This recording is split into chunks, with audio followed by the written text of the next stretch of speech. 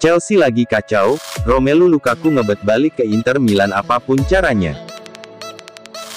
Romelu Lukaku dikabarkan sangat ingin kembali ke Inter Milan, bagaimanapun caranya di tengah kekacauan di kubu Chelsea. Keputusan pemerintah Inggris untuk menjatuhkan sanksi kepada Roman Abramovich baru-baru ini membuat Chelsea kini sedang kacau. Klub asal London Barat itu terpaksa harus menerima beberapa sanksi, termasuk dilarang melakukan aktivitas transfer. Di saat The Blues dilarang menjual atau membeli pemain, salah satu penyerang mereka justru dilaporkan ingin pergi. Penyerang yang dimaksud adalah Romelu Lukaku. Dilansir dari Calcio Mercato, Lukaku dilaporkan sangat ingin kembali ke Inter Milan. Bomber asal Belgia itu merasa kepindahannya ke Chelsea pada musim panas tahun lalu adalah kesalahan besar. Banyak pemain Inter Milan juga telah menerima pesan dari Lukaku dalam beberapa hari terakhir, yang mengisyaratkan kemungkinannya kembali. Ini tentu akan menjadi kesepakatan yang rumit, tetapi Lukaku siap melakukan apa pun untuk menyelesaikan semuanya. Bahkan, laporan mengatakan bahwa Lukaku bersedia gajinya dipotong demi kembali berseragam Inerazzurri. Karena Chelsea tidak bisa menjual pemain, Lukaku hanya bisa kembali ke Italia dengan status pinjaman. Baik Inter Milan maupun Tottenham Hotspur, sama-sama mengincar striker berusia 28 tahun itu.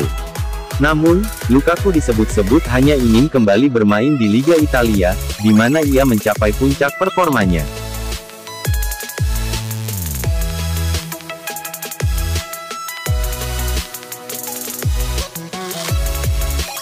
Edin Zeko mengincar gol ke-100 Serie A. Menjelang pertandingan melawan Torino dalam lanjutan seri A pekan ke-29, Senin tanggal 14 Maret tahun 2022, dini hari waktu Indonesia Barat, ujung tombak Inter Milan, Edin Zeko berpotensi mencatatkan 100 gol di Serie A Italia. Saat ini striker asal Bosnia itu sudah mencetak 97 gol di ajang Serie A, 85 untuk Roma dan 12 untuk Inter. Jadi, untuk bisa menggenapkan jumlah golnya di Serie A menjadi 100 gol, Zeko butuh tambahan 3 gol lagi saat Nerazzurri bertandang ke markas Granata di Stadion Olimpiade Torino. Dia tentunya berharap bisa mencetak hat-trick di laga besok. Sejak bergabung dari Roma pada jendela transfer musim panas lalu, Zeko sudah mengoleksi 12 gol sejauh musim ini di ajang Serie A. Dia juga sudah mencetak 3 gol di Liga Champions, dan 1 gol di Coppa Italia. Corriere dello Sport menyoroti bahwa Zeko telah menjadi sosok yang menentukan di setiap klub yang ia bela.